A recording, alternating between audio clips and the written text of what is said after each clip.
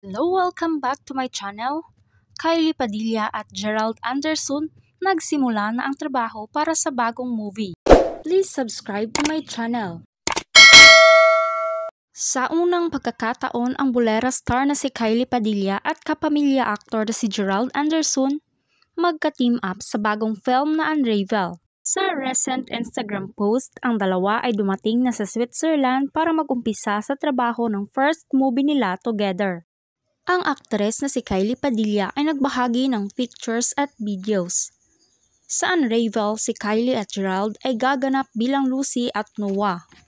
May post rin ang Kapuso star na mayroong caption na, One thing I can say without saying too much is this character scared me, but this story already holds a special place in my heart. See you soon, Lucy. Hashtag Unravel.